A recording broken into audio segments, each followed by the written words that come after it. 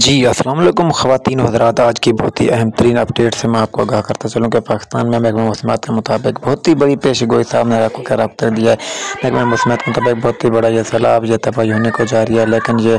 बेचारों के घर काफ़ी सारे डूब रहे हैं घर के घिरने जैसे छत से नीचे दो बच्चे घिर गए छत गिरे और दो बच्चे वहीं पर मर गए शहीद हो गए इसके साथ साथ एक बच्चे का बिल्कुल ही गुम हो गया उसके सिर्फ हाथ से जो आपको मैं वीडियो दिखाता हूँ वीडियो के अंदर वीडियो के पहले मैं आपसे छोटे छोटे तस्वीर करता अगर आप चैनल पर न्यू तो इसको लाइक सब्सक्राइब और साथ में लगे बेल आइकन प्रेस करें ताकि तमाम तरह मालूम